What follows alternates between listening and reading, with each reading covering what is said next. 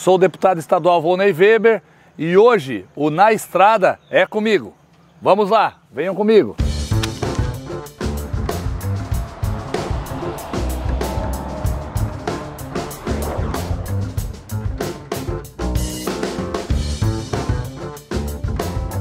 Nós estamos caminhando aqui na região sul de Santa Catarina, indo ao município de Sangão.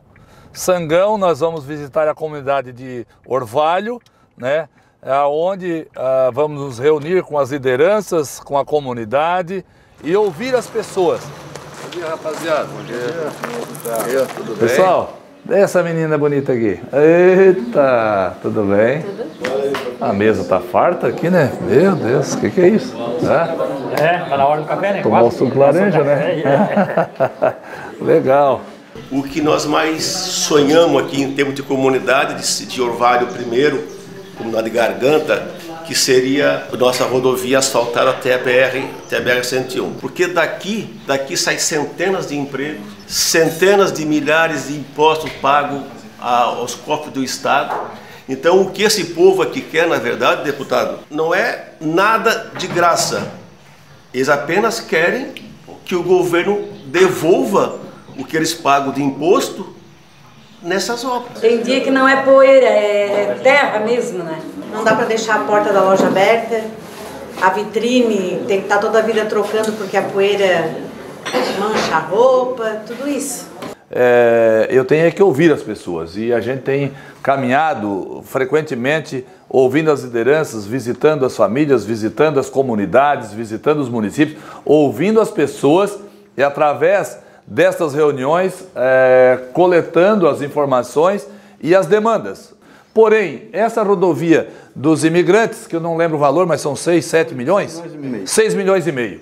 Eu não consigo atender por emenda parlamentar. A gente tem que ser muito sincero disso. Não vamos aqui criar expectativa falsa. Mas aqui vocês têm um deputado atuante, é, empenhado, determinado para defender lá no governo do Estado que este pedido de vocês não é um pedido, Jaiminho, simplesmente por pedir, gentil. É um pedido porque é uma necessidade, vocês elegeram como prioridade.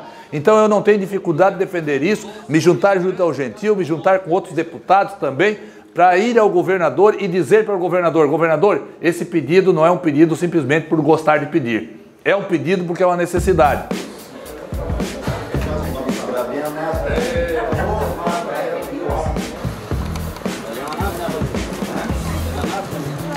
A, a comunidade, as lideranças, o, os empresários, eles nos reivindicaram a pavimentação da rodovia dos imigrantes.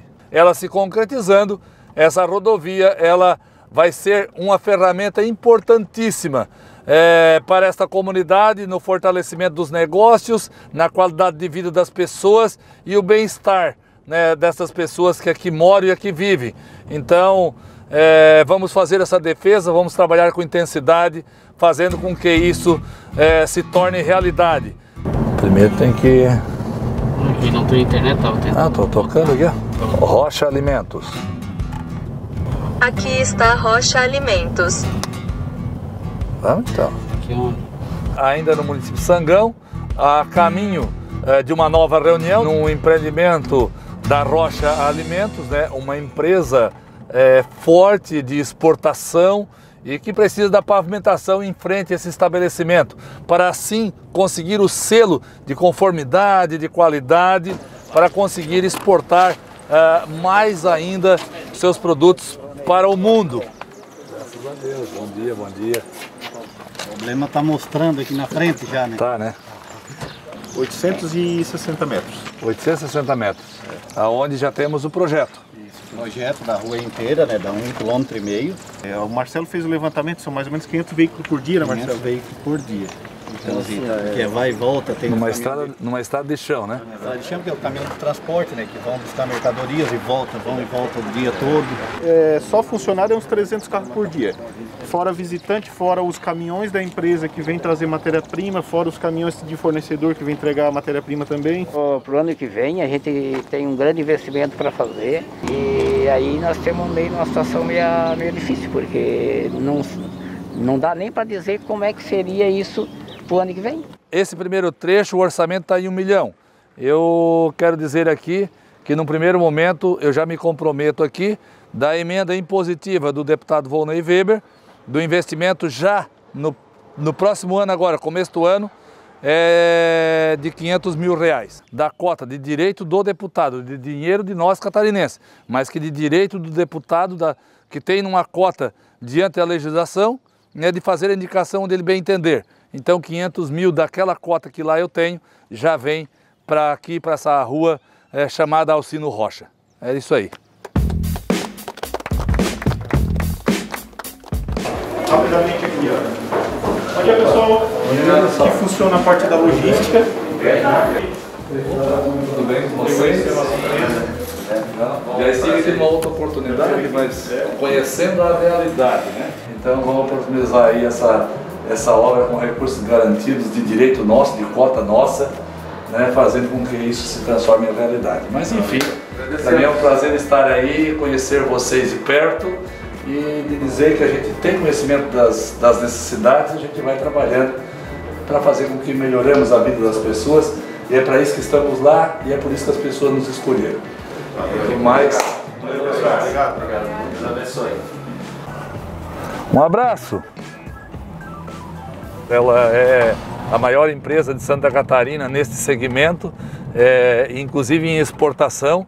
Ela precisa uma certificação para poder é, ampliar os seus negócios, suas vendas e ter uma boa qualidade no produto e uma garantia para o consumidor. É, o que eu fico mais feliz é que, através das nossas emendas, do, da cota que, que é direcionada aos deputados, através da legislação, garantindo esse direito, é, a gente pode atender, é, contribuindo com 500 mil e a deputada Ada De Luca, grande parceira, também contribuindo com 500 mil, né, nós vamos conseguir realizar o sonho dessas pessoas, desse, da, do, dos, dos empreendedores e também dos colaboradores, das pessoas que ali moram na confecção da pavimentação dessa rua. Aqui em Jaguaruna nós temos a questão da Barra do Camacho. A Barra do Camacho é um problema antigo, um canal assoreado. Quando que presidente da Amurel ainda e prefeito, nós já autorizamos na época o projeto é, através da Associação de Municípios para buscar, através do governo do estado, recursos para buscar o desassoreamento. E aí, quando assumo deputado, eu foi uma bandeira que eu levantei desde o primeiro dia, sempre conversando com o governo, com a equipe do governo, sempre trabalhando para fazer com que ah, houvesse um gesto do governo para acontecer o desassoreamento de forma assim, não só paliativa, né, mas um trabalho ah, bastante aprofundado. Vamos lá, prefeito. Firme forte, caminho. Mostra o caminho. Já percorri esses corredores uma vez ou outra. Como é que tá? Eu tô bem, tô bem magro. Melhor agora, elegante. Ah. Corpinho de bailarino espanhol. Ah, sempre, né? Eu fico muito feliz pela visita do senhor. Lhe agradeço por algumas, eh, de, algumas obras importantes que irão sair aí para o nosso município de Jaguaruna, principalmente uma delas a, a Barra do Camacho. Né? O senhor que foi um dos deputados aí que esteve à frente dessa bandeira, Nós não podemos deixar passar o mandato do Moisés sem ter a garantia do terminal de cargas. A gente faz esse apelo a você. Se ele foi construído com essa finalidade, nós não podemos perder de, de vista. E foi muita, muito sacrifício. Vocês sabem que tem uma porta aberta, um gabinete à disposição, com uma liderança que é responsável e comprometida aqui com vocês. Muito obrigado. Mas tem café aí? tá uma garrafa no cantinho lá, velho. Meu Bem Deus do mas tá lá, cara. Eu tenho que obrigado pra visita. Muito bem, amigos. Finalizamos aqui o roteiro aqui no município de Jaguaruna e vamos nos encaminhando agora para outro município vizinho, município de 3 de Maio, onde vamos lá encontrar o prefeito Neném e também outras lideranças, vereadores do município, ouvindo as demandas daquele povo, daquela gente. Um grande abraço, pé na estrada. Quando temos lá um projeto de lei que nós temos que dar lá, através da nossa decisão, o nosso sim ou o nosso não, primeiramente conhecer na base o que, que aquela nossa decisão vai influenciar no segmento, na economia. Isso a gente faz de forma muito frequente, todos os dias, né? É, nas quintas-feiras, então, com mais, com mais intensidade, nas sextas-feiras também. E aí, sábado e domingo também ainda existe essa correria aí, sempre buscando informação, buscando entendimento. Então, o nosso dia a dia aí realmente ele é agitado pra caramba.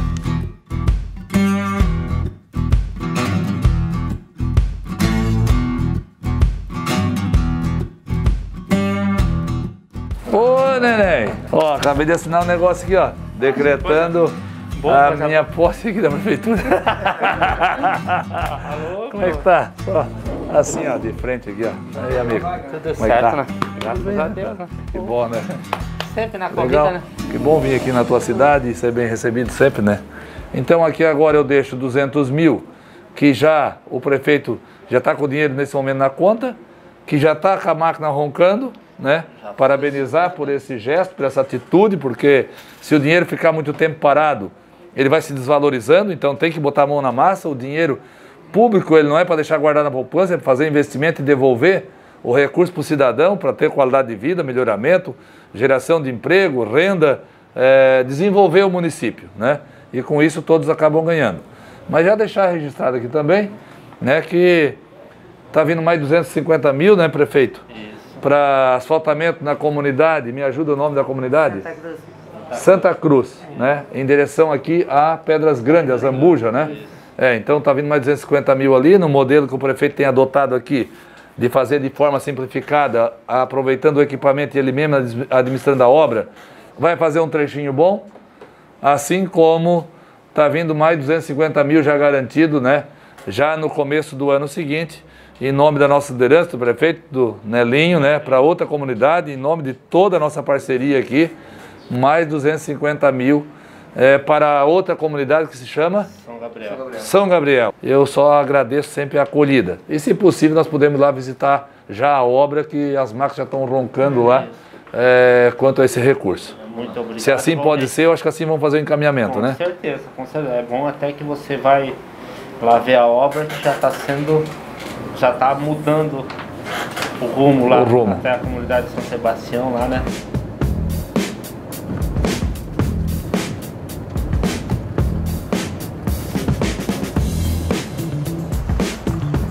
Esse cidadão aqui lá na Assembleia. Sentaram numas mesas e eu fiquei meio sozinho e ele estava sozinho na Assembleia. No dia não lembro. E nós almoçamos juntos. E aí ele se apresentou, sou prefeito de São Ludgero. São. Vamos lá, prefeito. Aqui, ó.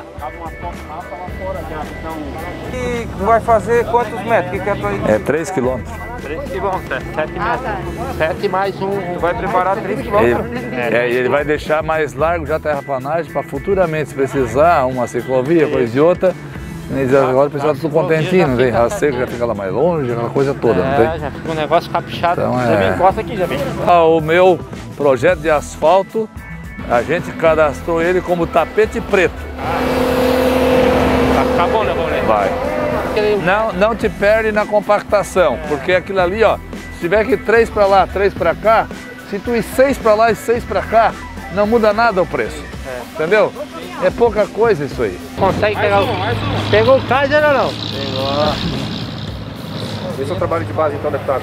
Esse é o trabalho de base, é visitando as lideranças, visitando os municípios, tomando conhecimento da real situação, das maiores necessidades e prioridades e além, a- através disso constrói-se projetos e nós, com a nossa força, junto ao governo, com as nossas emendas impositivas, a gente contribui para que obras igual a essa que estamos vendo aqui, ó, saindo do papel, começando a execução, as máquinas roncando, se torne realidade, não só aqui, inclusive no 13 de maio, neném, mas por toda a nossa Santa Catarina.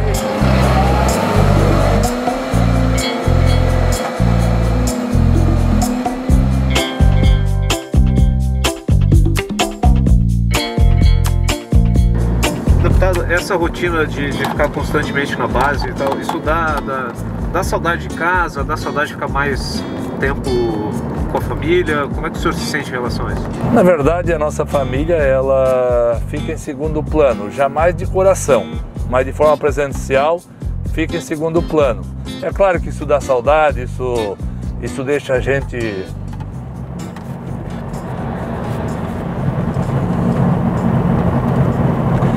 sentimento, sei lá, família é tudo.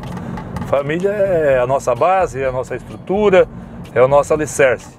Mas fico feliz também, é, mesmo longe da minha família de sangue, de conhecer tantas pessoas do bem, né? E com isso a minha família, se não de sangue, mas a minha família como irmão, como, como ser humano, ela aumenta de forma significativa. Então isso é gratificante.